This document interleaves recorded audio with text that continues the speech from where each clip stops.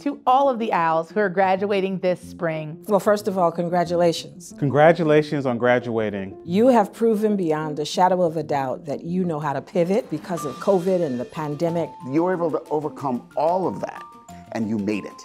That determination, that's what marks you as a Temple graduate. That is something that's not going to end the second you walk across that stage. Now, if I'm honest, our paths may not be the one that we plan out. However, they are the ones that we are supposed to be on. Where I started and where I ended up look completely different, but I'm here to tell you that that's okay. Just remember, keep going, keep learning. I empower you to do the things that you're doing now and to love them and do them until you don't love them anymore.